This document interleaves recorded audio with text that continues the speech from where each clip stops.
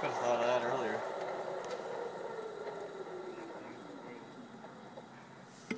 Here. Now you can split him.